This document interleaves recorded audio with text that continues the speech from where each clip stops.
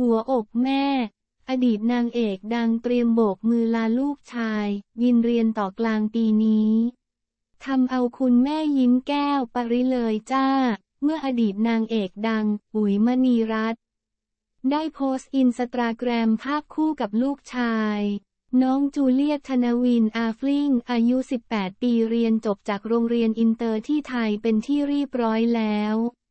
และเตรียมตัวนับถอยหลังเทคกระเป๋าไปเรียนต่อที่ยุโรปกลางปีนี้ เรียกได้ว่าทั้งหล่อแถมเก่งสุดๆไปเลยค่ะ